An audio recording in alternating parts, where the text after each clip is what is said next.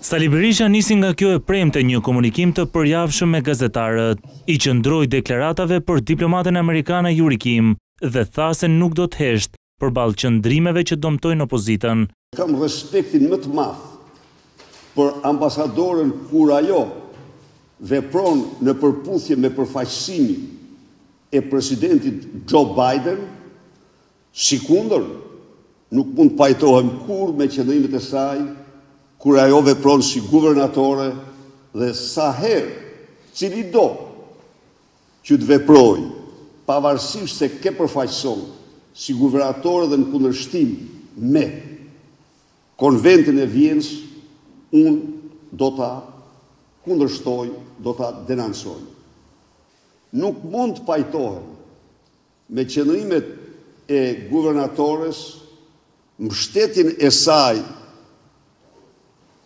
të vazhdueshme për qeverinë shqiptare, qeverinë e Edi Ramës dhe veprimet e mirëfillta anti-opozitare.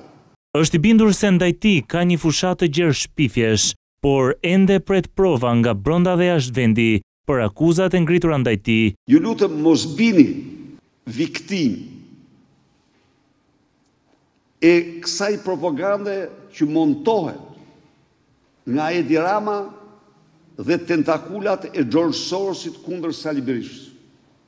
Dhe gjer sot ju nuk keni një fakt të vetëm, provë të vetme, dokument të vetëm që fakton përveç deklaratave që fakte kemi po s'i themi.